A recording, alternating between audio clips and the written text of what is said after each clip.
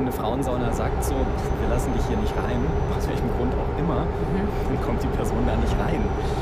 Genauso könnte auch jetzt schon ein Mann sagen und an der Tür klopfen äh, bei der Frauensauna und sagen so, hey, ich will hier aber gerne rein. So, dann würde auch jemand sagen, nee, das, das machen wir nicht. Mhm. Das hat jetzt eher damit zu tun, dass plötzlich so öffentlich über Geschlecht diskutiert wird und was macht eigentlich Männer aus, was macht Frauen aus, mhm. dass das plötzlich so in den Fokus gerät, wobei ich das ehrlich gesagt ein bisschen an den Haaren herbeigezogen finde. Also, dieses neue Gesetz könnte einiges echt sehr viel leichter machen für Transpersonen. Ich finde, Jankas Geschichte zeigt ja auch ganz eindrücklich, wie belastend dieser Prozess das Geschlecht offiziell zu ändern, bisher abgelaufen ist. Also diese Fragen über das Intimleben und die psychologische Begutachtung, das ist ja immer noch die ganz normale Vorgehensweise seit über 40 Jahren, seit es dieses Gesetz gibt. Wie ist denn da jetzt der Stand der Dinge? Wichtiger Punkt, wir reden erstmal nur über einen Entwurf. Es mhm. gibt noch kein Gesetz. Mhm. Und selbst dieser Entwurf wurde noch nicht vorgestellt. Alles, was es bisher gibt, ist ein Eckpunktepapier.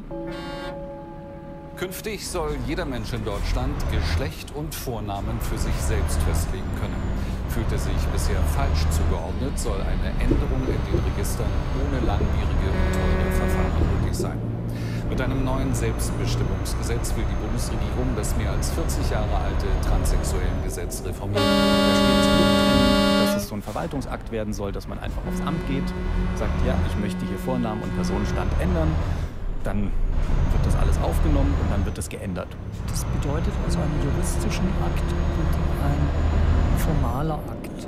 Und es genügt der Antrag zu sagen, mein Name ist so und so und ich habe das und das Geschlecht. Dieser formale Akt geht einher mit dem Wissen, mit der tiefen Überzeugung, dass letztendlich niemand außer der Person selbst wirklich sagen kann, was für ein Geschlecht sie hat, wie sie sich empfindet. Dann stehen da noch ein paar Regelungen drin 14- bis 18-jährige Kinder. Die können diesen Antrag zwar selbst stellen, aber die Erziehungsberechtigten müssen dann beide zustimmen. Unter 14-Jährige ist noch ein bisschen komplizierter, also das steht da soweit alles geregelt drin. Wie dieses Gesetz genau aussieht und dieser Entwurf, das wissen wir noch nicht.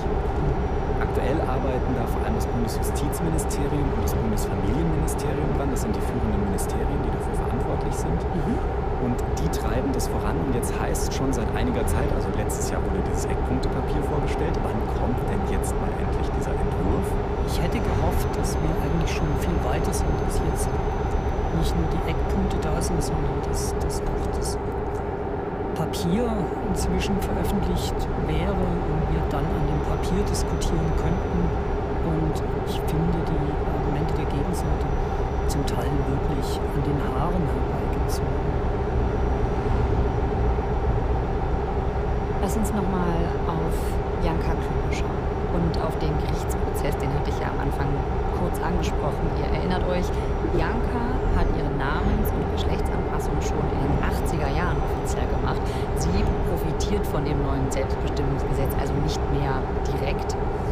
Aber auch heute, im Jahr 2023, geht sie vor Gericht, um als Frau anerkannt zu werden. Da kommen wir nochmal auf die Story vom Anfang zurück. Der Blogartikel, in dem Janka als Mann bezeichnet wurde. Worum ging es da genau? Da gab es einen Artikel, der ist erschienen äh, auf Julian Reichels Blog. Das ist der ehemalige. Der hat da so einen Blog